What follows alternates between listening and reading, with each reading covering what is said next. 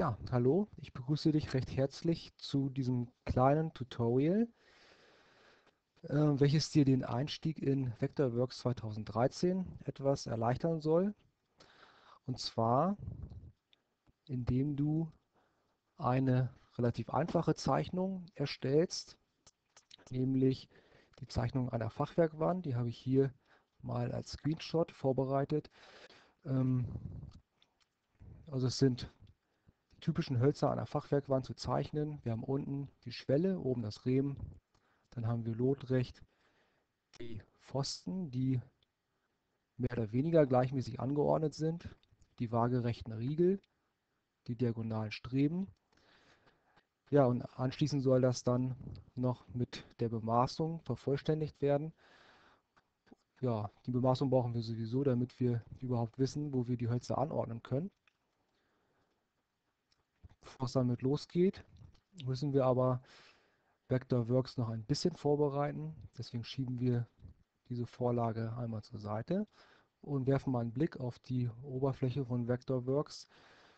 Wie man hier sehen kann, sind die meisten Funktionen noch ausgegraut. Das liegt ganz einfach daran, dass auch noch gar keine Datei geöffnet ist. Wir müssen also erstmal ein neues Dokument erstellen.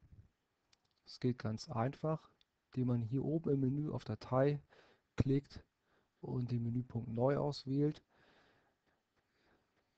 In diesem Fenster wählen wir einfach die Option Neues leeres Dokument öffnen aus und dann wird der Zeichenbereich aufgebaut. Der Zeichenbereich ist im Prinzip unendlich groß.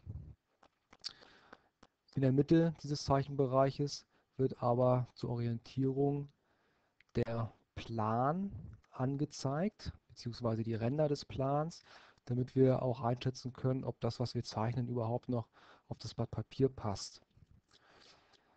Hm, wir müssen jetzt allerdings nochmal checken, ob das Blatt Papier auch die richtige Größe hat. Wir wollen es ja letztendlich auch auf unserem Drucker ausdrucken können. Und das kontrollieren wir einfach mal, indem wir mit der rechten Maustaste auf den Zeichenbereich klicken. Dann öffnet sich dieses Kontextmenü und hier gibt es den Menüpunkt Plangröße. In diesem Fenster kann man jetzt auf der rechten Seite die Größe des Plans einstellen. Voreingestellt ist die Option Druckerformat. Ähm, das heißt also, das Blattformat wird vom Drucker übernommen. Deswegen müssen wir einmal gucken, welches Blattformat eigentlich eingestellt ist. Und da können wir erkennen, dass es sich dabei um das DIN A4-Format handelt, und zwar in der Ausrichtung Hochformat. Das müssen wir einmal ändern, weil wir die Fachwerkwand eher in die Breite zeichnen. Das heißt, wir brauchen unser Zeichenblatt im Querformat. Einmal bestätigen nochmal bestätigen. So, dann kann man die Änderung schon erkennen. Jetzt ist noch eine weitere Sache, die wir vor dem Beginn des Zeichnens überprüfen sollten. Und zwar schauen wir mal, welche Einheit eigentlich für das Zeichnen eingestellt ist. In der Bautechnik arbeiten wir ganz gerne in der Einheit Meter und das ist auch hier schon eingestellt. Man kann die Anzeige noch ah, ja, runden indem man hier entsprechend die Nachkommastellen bzw. die Anzahl der Nachkommastellen auswählt. Hier sind jetzt also drei Nachkommastellen ausgewählt.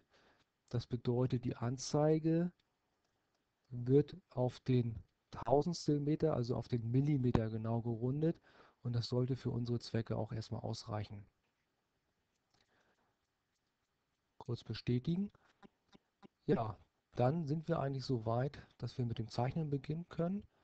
Und wie das geht, erfahrt ihr dann im zweiten Teil.